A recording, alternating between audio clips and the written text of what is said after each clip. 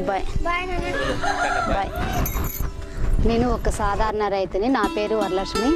మా అనంతపురం జిల్లాలో వర్షాలు చాలా తక్కువ. మేము రైతులమంతా చాలా ఇబ్బంది పడుతున్నాము. నాది ఐదు ఎకరాల పొలం ఉంది. నీరు లేక పండించలేకపోతున్నాను. ఒక ఎకరాకు సరిపడు నీళ్ళు మాత్రమే ఉన్నాయి. అందుకని నేను అదే ఆ ఎకరా ఒక్కటే వరి వేసుకోవడం జరిగింది. ఇక్కడ చుట్టుపక్కల ఎవరికి అయితే చాలా తక్కువ నీళ్ళే అసలు లేవు.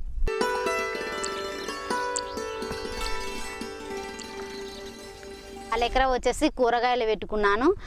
ఆకుకూరల్లో వచ్చేసి మెంతకూర వేసుకున్నాను. కొయ్యగూర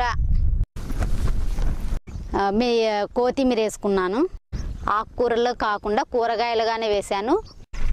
బీరకాయ బెండకాయ. నేను ఒక వరుస టమోటా ఒక వరుస వచ్చేసి గోరు చిక్కుడు వేసుకున్నాను కూరగాయలు. టమోటాకి ఈ విధంగా బొక్కలు వేస్తుంది. డిజిటల్ గ్రీన్ వీడియో చూసినాను. ఆ వీడియో చూసిన తర్వాత ఇట్లా బొక్కలు వేయకుండా అగ్నాస్త్రం కొట్టినాను.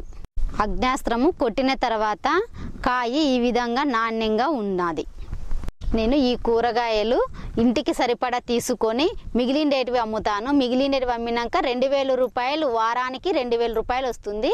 అదేవిధంగా నెలకు వచ్చేస్తే ఎనిమిది వేల రూపాయలు ఆదాయం వస్తుంది. ఆకుకూరలు కూరగాయలు వేసాము కదా.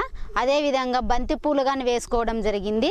బంతిపూలకు వచ్చేసి ఆకుకూరలు కూరగాయలు వచ్చే పురుగు లద్దె పురుగు అనేది బంతిని ఆకర్షిస్తుంది కాబట్టి వాటిలో బంతి కానీ వేసుకోవడం జరిగింది. ఇవి ఇంటి దేవుని పూజకి కానీ అవసరం అవుతాయి నేను సంఘంలో లోన్ తీసుకొని ఒక ఆవును కొన్నాను.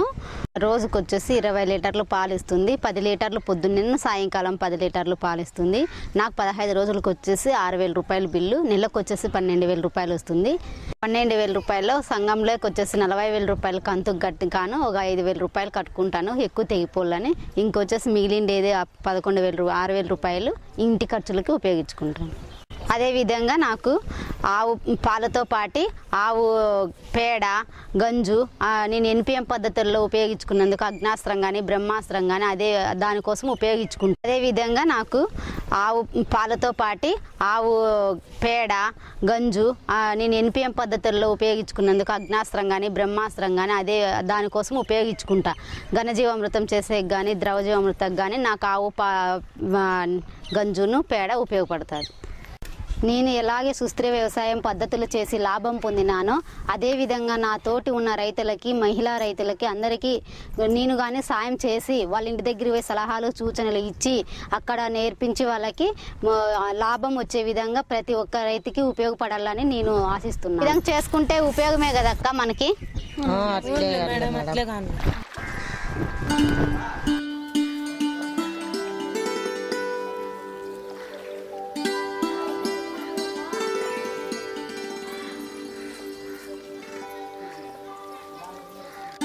వరలక్ష్మి ఏం చేస్తాడా?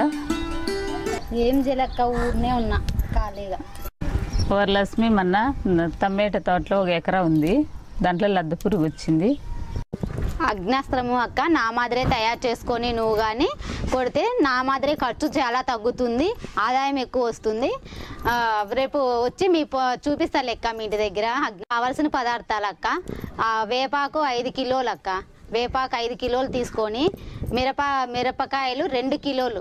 రెండు కిలోలు మిరపకాయలు పొగాకు ఒక కిలో తెల్ల తెల్లవాయిలు వచ్చేసి అర కిలో గంజి వచ్చేసి ఇరవై లీటర్లు కానీ పదహైదు లీటర్లు కానీ అవి ఒక ఎకరాకు సరిపడే పదార్థాలు అవన్నీ తీసి పెట్టుకోండి అక్క రేపు. సరే వరలక్ష్మి నువ్వు రేపు వస్తానంటే అన్ని రెడీ చేసి పెట్టింటాను? చేద్దాము. సరేలే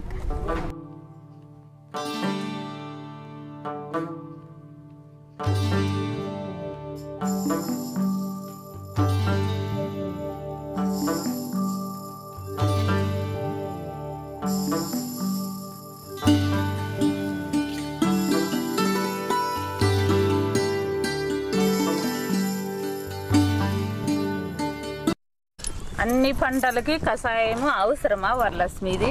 అవునక్క. బయట నుంచి మందు తెచ్చుకొచ్చి కొట్టింటే వాళ్ళకి సుమారుగా మూడు వేల రూపాయలు అయ్యింది ఇక పక్క తోటలోనే వాళ్ళు. మన ఊరినే రెండు వందల రూపాయల లోపలే. అర్ధ కేజీ తెల్లవాయలు రెండు కేజీలు మిరపకాయలు ఇంకా వచ్చేసి ఐదు బయట దొరికే వస్తువులే కదా. ఐదు కిలోలు వచ్చేసి వేపాకు. వేపాకు ఒక కిలో వచ్చేసి పొగాకు. ఆ గంజి వచ్చేసి మనం ఆవుల కింద ఉండేదే కదక్క. అది వచ్చేసి పది పదహైదు లీటర్లు దాకా మనము తీసుకోవచ్చు. ఒక్కసారి చేసినామంటే ఎక్క ఓ పన్నెండు లీటర్లు దాకా వస్తుందన్నమాట అగ్నాస్త్రం. పన్నెండు లీటర్లు వచ్చేసి రెండు సార్లు కాకుంటే మూడు సార్లు కానీ మనం ఒక ఎకరాకి స్పేర్ చేసుకోవచ్చు కొట్టుకోవచ్చు. అది వచ్చేసి రెండు వందల రూపాయల లోపలే మన ఖర్చు అంతా తగ్గిపోతుంది. ఆయనకు వచ్చేసి దాదాపు మూడు వేల రూపాయలు అయినా కానీ ఆ పురుగు సావలే.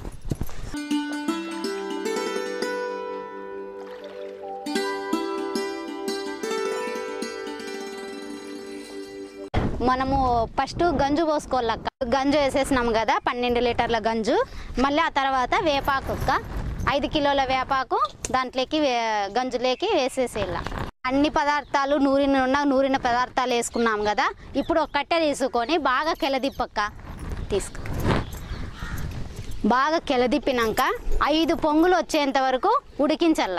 ఉడికించిన తర్వాత మనము టమోటాకు కానీ బెండకు కానీ కాయ తొలిచే పురుగుకి లద్దె పురుగుకి ఇవి బాగా పనిచేస్తుంది. ఇరవై నాలుగు గంటలు చల్లార్చల్లక్క ఇవన్నీ ఇవన్నీ చేయడం వల్ల చాలా కష్టం అనుకున్నాను చాలా అగసాట్లు పడతాయి. ఇవన్నీ ఏడబ్బ తెచ్చుకునేది అనుకుంటే ఇప్పుడు అన్నీ తెచ్చుకొని బాగా సులభంగా అన్ని పని చేసుకున్నాం వరలేసి నువ్వు వచ్చి అన్ని చెప్పి ఈడు చేయంగా. మనం ఇప్పుడు ఇరవై నాలుగు గంటలు చల్లార్చినాం కదా నిన్న చేసిన కషాయము. ఇప్పుడు ఈరోజు మనము స్వేట్ చేద్దాం అక్క పొలంలో. సరే వరలక్ష్మి పదాం పండి.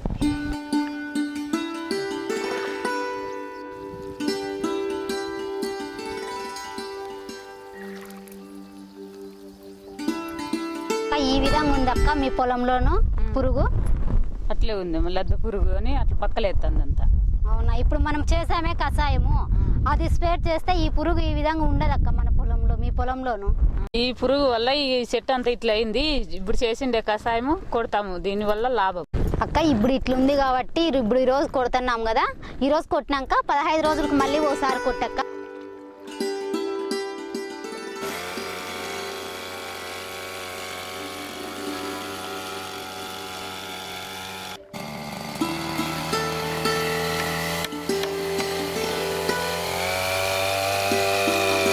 ఇంత మంచి చెప్పిన దానికి వరలక్ష్మి ధన్యవాదాలు